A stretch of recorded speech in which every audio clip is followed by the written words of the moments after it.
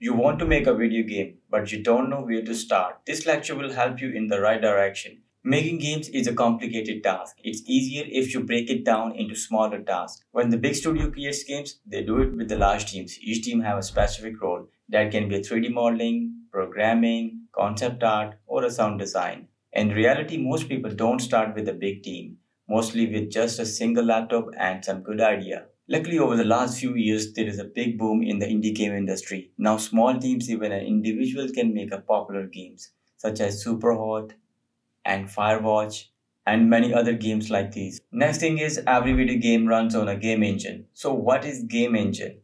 Basically, the game engine is what tells the components in the computer, like how to render the graphics, move player from point A to point B. Games such as Borderland, Gears of War, and Deus Ex runs on Unreal Game Engine. And that's why they have a lot of things in common when it's come to physics, graphics quality, and gameplay. Previously, studios have to spend a lot of work to create a game engine from scratch, or they have to purchase from other studios, which is quite expensive. But these days, a lot of independent engines have been made with the sole purpose of people using them to build their games on top of it. Now, as a developer, it's time to make a decision which engine should I choose? And the answer is well, it depends. There are a lot of engines to choose from and each have their strength and weakness, but here are some of the most popular ones. Unreal Engine, Unity, CryEngine, Godot, Amazon, Lumberyard.